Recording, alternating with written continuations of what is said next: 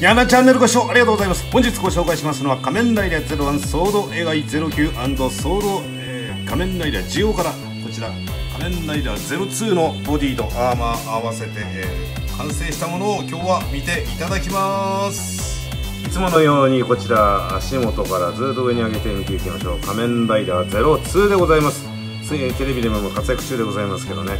えーとこの顔はもう完全に塗装ができてますけど、まあ、シールの貼ってあるのがこのショルダーの部分ですね、えー、腕、えー、このショルダーの肩のアーマーパーツとその下の腕の部分と腕。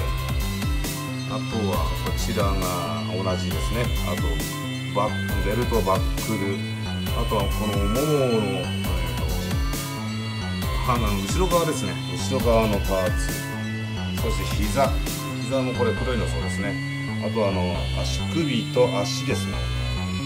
あ足首のこのサイドの、えー、シール。これがシールになってます。あとは全部塗装になってます。の僕がいいなと思ったのはこの後ろのね、えー、背中もちゃんとパーツが、えー、黄色い部分ですね、えー、合わせてるもので、え無地になってない、え後ろもちゃんとあの色が入ってるところがなかなかいいですね。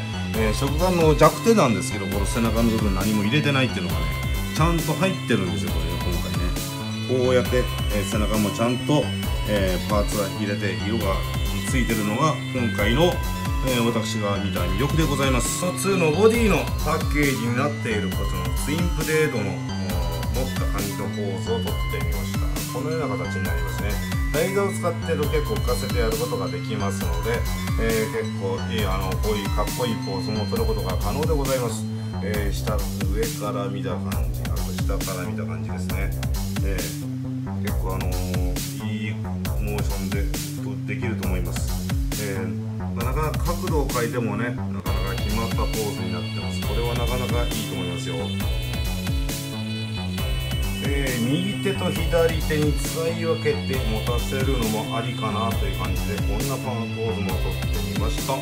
えー、あのほんとねかっこいいですね。いい感じにできてますけどね。えー、上から見た感じ下から見た感じ下から見た方がかっこいいですかね、えー、結構大きさの、えー、遠近あの色で遠近を使って、えー、こういうポーズも取ることが可能でございます。変えてみました。以上でございます。いかがだったでしょうか。今回の仮面ライダー02です、えー、もしよろしければチャンネル登録高評価コメントをよろしくお願いいたします。次はアークゼロをお送りしますのでお楽しみに。ご視聴ありがとうございました。